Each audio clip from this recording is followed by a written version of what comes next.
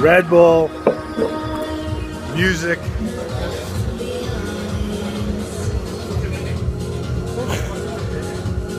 I wish I was in Amsterdam, but Kabul without just the Red Bull will have to do.